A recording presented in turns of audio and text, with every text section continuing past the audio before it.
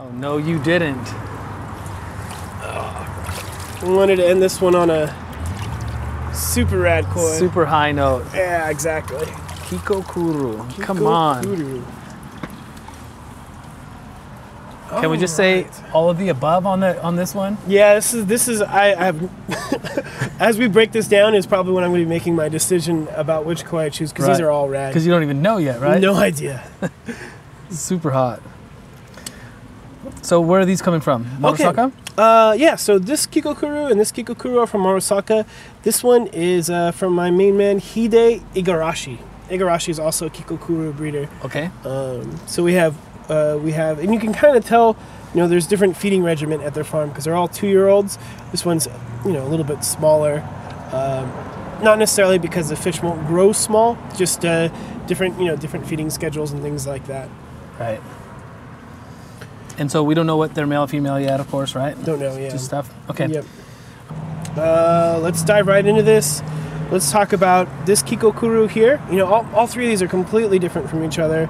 Um, this Kikokuryu's uh, tonality or color is a sort of a light lemon um, compared to like a deeper orange. Um, stuff like that in the in the show world, as far as the coloration of a Kikokuryu, mm, it doesn't matter at all. There's not a particular color, and there's not a particular color that's better than another. And I get that question all the time, like, oh well, should I get a dark red or should I get a yellow? What what do koi judges care about? Yeah. and that's really uh, you know your preference.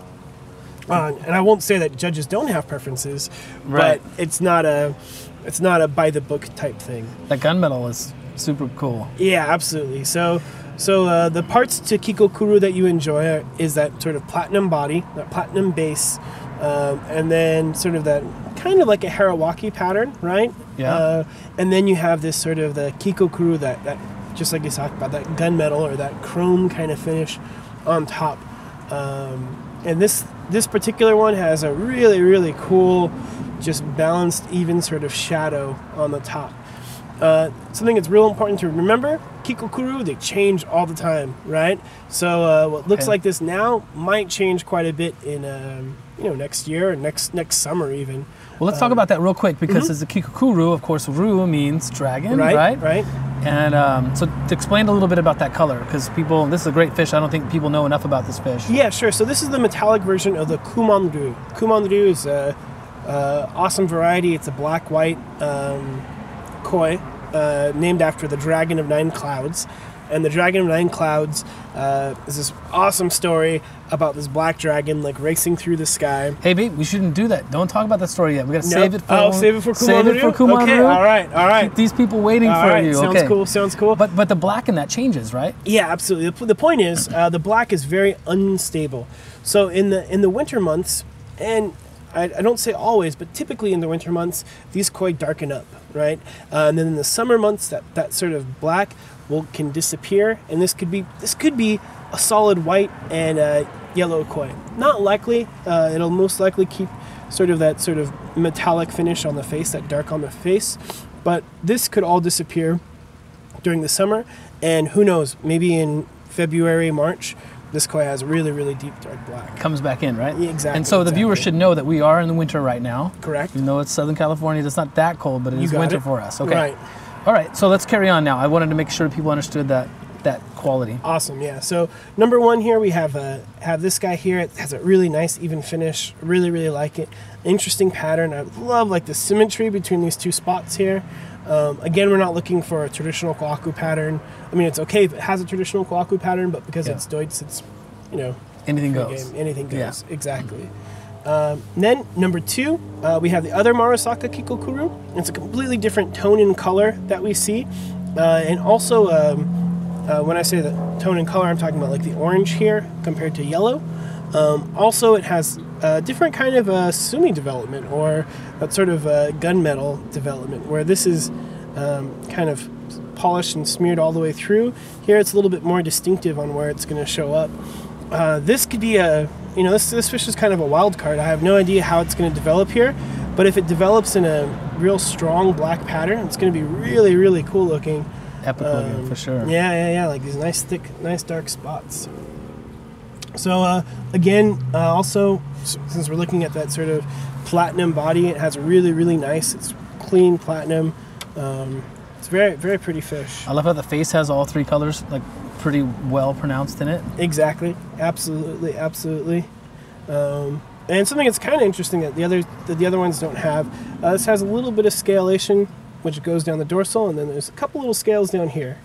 Um, that's probably not ideal, but it, because we were talking again about Kikokuryu, it's pretty interesting looking. Yeah, it's still considered odome, right? I mean, it's like a one scale of odome. Like Yeah. Sure. Sure. Right. Sure. Yeah. odome is just that that spot right at the That end of the tail, right? Exactly, exactly. Okay.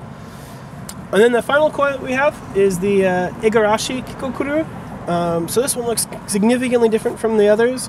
Um, it has a again that really rich, deep, like orange color. If you notice that orange is completely even all the way through, it's all like uniform as far as the color goes.